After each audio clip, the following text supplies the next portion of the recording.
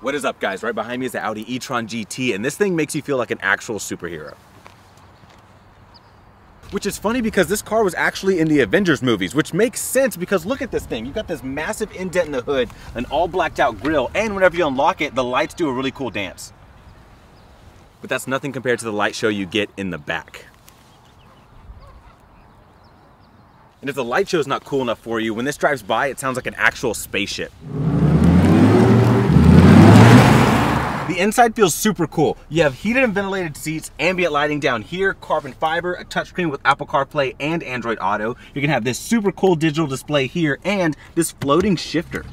And it's practical. You have storage space back here, you have seating for four, and because it's electric, you get a frunk. Nobody wants to wait an hour to charge their electric car, which is why this one takes 22 minutes to get you back up to 80%. It's pretty quick.